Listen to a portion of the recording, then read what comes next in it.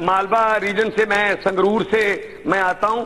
سب سے زیادہ اناج دیش میں سنگرور پیدا کرتا ہے. لیکن سب سے زیادہ کینسر کے مریض بھی مونک تحصیل میں، سب سے زیادہ کینسر کے مریض بھی ہمارے پاس اس کا مطلب کہیں نہ کہیں رسائنک کھادیں جو ہم پیسٹیسائیڈ یوز کر رہے ہیں، وہ وہ کہیں نہ کہیں ذمہ دار ہیں۔ پانی ہمارا جو ہے، وہ پینے لائق نہیں رہا۔ میں میں سر، چھوٹا سا سوال ہے سر۔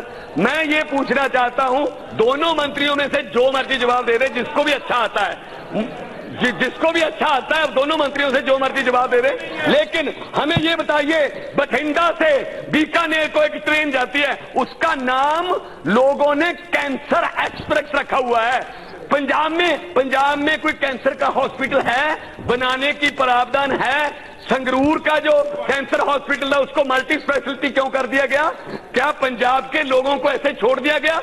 وہی پنجاب کے لوگ جنہوں نے نبے پرسنٹ قربانیاں دی جنہوں نے نبے پرسنٹ قربانیاں دی جواب دے منتری جی۔